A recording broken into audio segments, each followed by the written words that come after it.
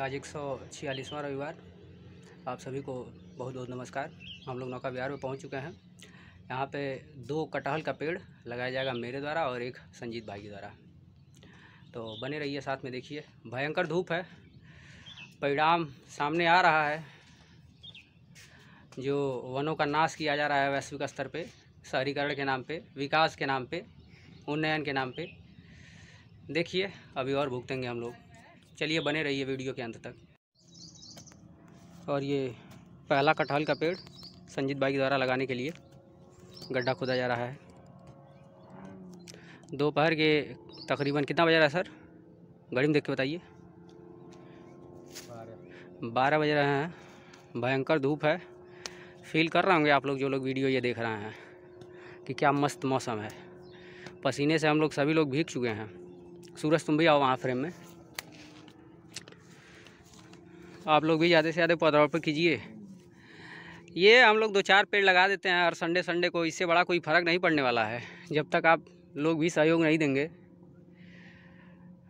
ये जो बढ़िया माहौल मिल रहा है गर्मी का, मिलता रहेगा। हर साल गर्मी अपना रिकॉर्ड तोड़ेगी। मज़ा आता है इसको रिकॉर्ड तोड़ने में भाई। आप लोग मौका दे रहे हैं उसको।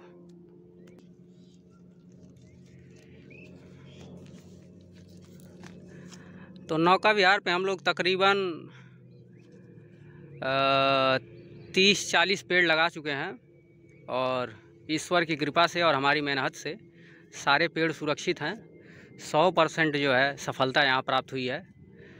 बढ़िया बात यहाँ की ये यह है कि यहाँ जानवर कोई प्रवेश नहीं कर पाते हैं। ये फेंसिंग जो सरकार द्वारा चाहे जो भी गवर्नमेंट द्वारा संस्थानों द्वारा, अधिकारियों द्वारा, अथॉरिटी द्वारा जो की गई है, काफ़ी लाभकारी सिद्ध होता है और पानी की ये विशाल राशि जो है, एक संडे को आके आज जैसे पौधारोपण किए और इसके पहले जो पेड़ लगाए हम लोग उसमें पानी डाल देते हैं सारे में, दोनों काम हो जाता है। लेकिन अब जो गर्मी का ये माहौल बढ़ रहा है, इसके दो, इसको देखते हुए अब लग रहा है कि दो दिन आना पड़ेगा हफ़्ते में, एक दिन पौधारोपण। अब पौधारोपण क्या पौधे के लिए यहाँ जगह नहीं बची है? क्योंकि पहले भी गवर्नमेंट के द्वारा भी यहाँ बहुत सारे पेड़ लगाए जा चुके थे और जो जगह बचे थे हम लोग ने उसको भर दिया है। तो पहला पेड़ संजीत भाई के द्वारा लगाने का कार्य संपन्न हुआ है। इसके बाद मैं लगाऊँगा। अब देखिए, भयंकर पसीने से भीगे हुए संजीत भाई। सूरज देखिए, भयंकर पसीने से भीगा हुआ। मेरी भी दशा यही है। सब मज़े ले रहे हैं हम लोग गर्मी का। आप लोग भी कभी ले लिया करिए, पौधा लगाइए। देखिए, संजीत भाई जगह ढूंढ रहे हैं, कैसे पानी में घुसें। देखेगा सर, गिरिएगा नहीं उसमें, क्योंकि हम लोग बच्चे रहेंगे तभी तो पेड़ लगाएँगे। सुरक्षित रहना भी हमारा ज़रूरी है। हम लोग भी प्रकृति के दृष्टिकोण से काफ़ी महत्वपूर्ण हैं तो ध्यान से।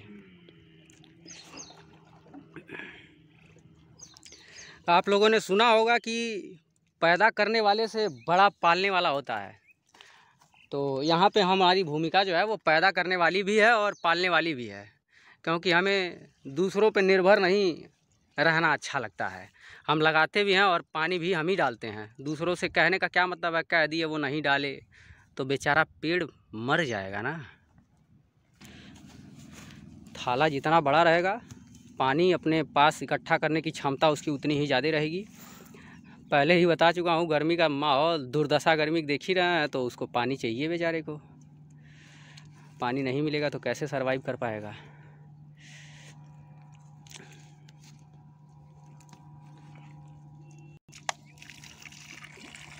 देखिए पाँच पाँच लीटर का दो डब्बा तकरीबन आठ लीटर पानी इसमें डाला गया है।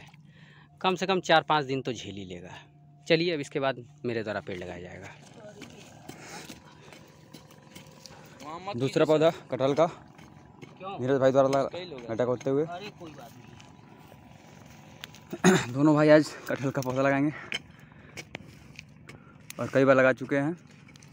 ये गाँव में या हर जगह एक रूढ़िवादिता भी है। उसको पूरी तरह से ख़त्म करने का प्रयास भी है हम लोगों का और पर्यावरण को व्यवस्थित, सुरक्षित करने का भी प्रयास है। आप लोग भी लगाइए, ऐसा कुछ नहीं है।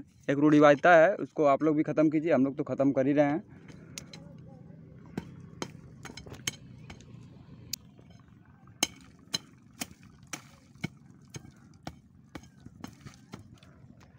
गोरखपुर सिटी के किनारे बसा।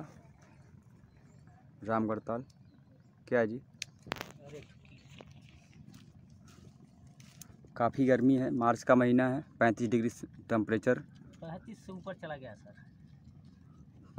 पैंतीस से ऊपर लगभग पहुँचता हुआ टेम्परेचर हालाँकि देखा जाए तो आज से तीन चार साल पहले मार्च महीने में इतना टेम्परेचर शायद नहीं चढ़ा होगा। और ये मात्र एक ही दिन है चढ़ने का। कि पौधारोपण कम से कम हुआ है। तो इसीलिए हम लोग इसे कर रहे हैं और इसको देख के अधिक से अधिक लोग करें। इसीलिए हम लोग और ज़्यादा करते हैं इसको।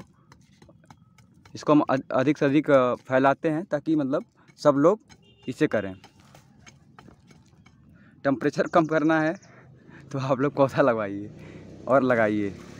क्योंकि जितना पौधा लगेगा, उतना टेम्परेचर कम होगा। क्योंकि बारिश होगी, बारिश से मानसून अच्छा होगा, सब मतलब सब कंट्रोल हो जाएगा ऑटोमेटिक आप लोग पौधा लगाइए और लगवाइए। पौधा लगाने का सब, लगाने के लिए सबके पास टाइम वैसे होता नहीं है, कोई बात नहीं। आप लोग, साल में लगा लीजिए, महीने में लगा लीजिए। महीने में तो नहीं लगा पाएँगे, सब लोग हमको पता है, क्योंकि सब लोग बोलेंगे कहाँ टाइम है, ये काम है, वो काम है। नहीं हुआ, नहीं है, कोई बात नहीं। आप लोग, साल में या किसी पर्व पे मान लीजिए आपके घर कुछ पड़ गया तो उस पर लगा दीजिए।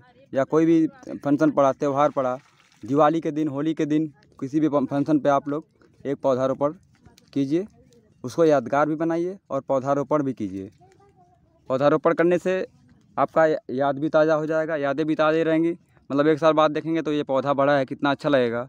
उसके बाद आप लोग देखेंगे कि मतलब दो चार साल में ये पौधा फल भी दे रहा है और भी अच्छा लगेगा। तो कहने का मतलब ये है कि जितना आप लोग पौधारोपण करेंगे आप प्रकृति को बचाएँगे।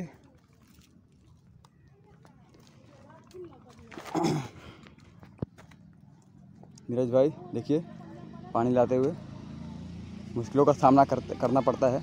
यहाँ पे काफ़ी ऊंचाई है। ये लगभग आठ से दस लीटर पानी देखिए थाले में पड़ गया। इतना पानी डाला नहीं जाता लेकिन काफ़ी गर्मी होने के कारण हम लोग डाल रहे हैं। क्योंकि बार बार हम लोग यहाँ पे नहीं आ पाएँगे। टाइम तो लगेगा ही आने में। क्योंकि भाई साहब का भी तैयारी चल रही है। तो बहुत कम समय है इनके पास। देखिए, ये बताना भी ज़रूरी है। इनके पास बहुत सम, कम समय है। मतलब मान लीजिए है या नहीं है, लेकिन फिर भी यूपीएससी का एग्ज़ाम परीक्षा तैयारी कर रहे हैं कंपटीशन तैयारी कर रहे हैं, नौकरी में लगे बस हो गया। पानी जो है, उठा लो और ये तीनों उठा लो। अब हम चल रहे बस पानी डालेंगे। अब उनके पहले यहाँ समाप्त कर लिया जाए दूसरा पेड़ कटहल का लगाने का भी कार्य संपन्न हुआ नीरज भाई द्वारा। अब हम लोग कई बार बता चुके हैं और बता भी रहे हैं कि आप लोग भी प्लांटेशन करें, पौधा लगाएँ। जैसे कितना धूप है, हम लोग छाए में आए हैं। देखिए, छाए में बैठे हैं। पेड़ का छाया है मतलब इसे थोड़ा छाया आ रहा है, इतना फील अच्छा हो रहा है मतलब इतना अच्छा लग रहा है। तो पौधा लगाने का मतलब ये है कि मतलब मान लीजिए आप लोग पौधा लगा दिए, उसके नीचे जो बैठेगा, उनके ज़रिए भी आप लोगों को आशीर्वाद प्राप्ति होगी, चाहे मतलब अच्छा कार्य करने का अनुभव। वो बोलेंगे हाँ भाई, कोई पौधा लगाया है, उनको अच्छा लगेगा, आपको भी अच्छा लगेगा, सुन के। आज का पौधारोपण का कार्य संपन्न हुआ। अधिक से अधिक आप लोग भी प्लांटेशन करें, पौधा लगाएँ। हर बार बोलते हैं, इस बार भी बोले हैं। तो आप सबसे यही निवेदन है, ज़्यादा से ज़्यादा पौधारोपण कीजिए, पर्यावरण में योगदान दीजिए हमारे साथ आप भी। आप सभी का बहुत बहुत धन्यवाद। अंत तक बने रहने के लिए धन्यवाद।